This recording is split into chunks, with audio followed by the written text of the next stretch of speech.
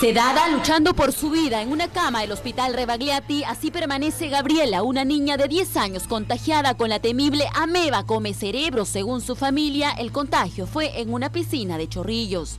Se tocaba la cabeza, gritaba de dolor, se desesperaba bastante, que ya no podía más. Era espantoso porque me decía, tatita, me duele y se agarraba su cabecita y gritaba.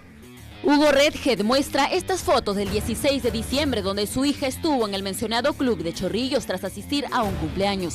La menor estuvo en la piscina cerca de una hora sin sospechar lo que vendría después. Claro, mi hija estaba acá el día 16 de diciembre, ha estado en la piscina, la única piscina que estuvo llena y era un cumpleaños que celebraron ahí. Neurólogo José Vaca precisó que los síntomas de la ameba come cerebro son casi inmediatos tras el contagio. De ameba el tiempo de incubación no es de meses, no es de años, son de días.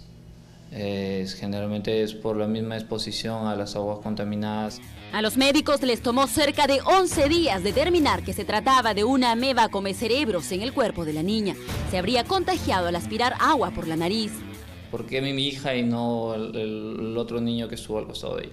Es por el tipo de cómo se puede ingresar este tipo de ameba.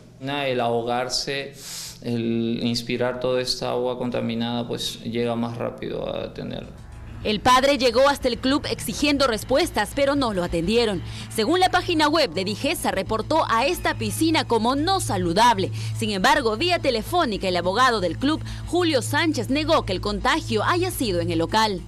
La señorita acá no puede haberse infectado porque las piscinas estaban secas en esa oportunidad. Me han dicho que no, que es falso y que el día 22 de diciembre recién la llenaron.